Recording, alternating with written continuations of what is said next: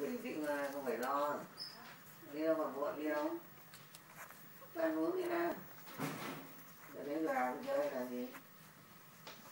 Anh ơi. Không ăn uống đã không có gì đâu. Đấy, không ăn à? Hả? Không ăn đi đã có đi anh ra thì anh anh mới cần về sớm mới cho phải rồi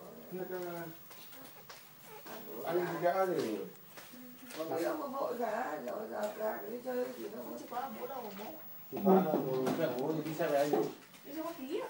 Thế bao ở không mà đi nữa sao? Có mà. Bà với lại bảo tí nữa con phóng về cũng được. Không không về.